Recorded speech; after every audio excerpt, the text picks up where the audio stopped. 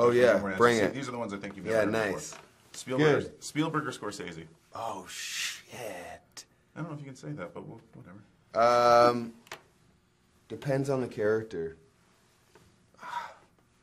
Scorsese. Uh, Scorsese. That's where you're leaning, so go with that one. Lennon or McCartney? Lennon. Most important thing Sheila Gray taught you? Oh my god.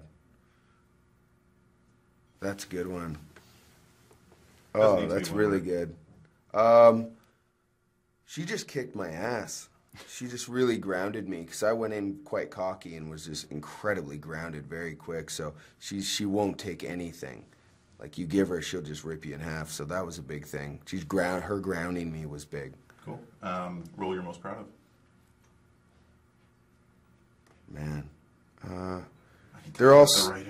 They're so different. Yeah, John Carter. There we go. And in one word, John Carter.